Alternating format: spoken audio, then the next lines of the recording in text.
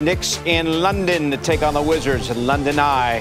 Always worth checking out, that is for sure. And like our man Clyde, Kevin Knox rocks his Pumas on the court. In fact, today in London, he will debut the new Anglo inspired Clyde Court London shoe. This is yesterday when Knox stopped by a London Footlocker store and talked about the NBA's global game and being the international face of Puma. I mean, yeah, it's pretty cool. I mean, I've never been here to London, so just come over here and debut in this shoe. I mean, it's pretty dope experience. I mean, just to see all the fans that are that come out and just to see this shoe and be able to watch the game tomorrow, it's definitely gonna be pretty fun.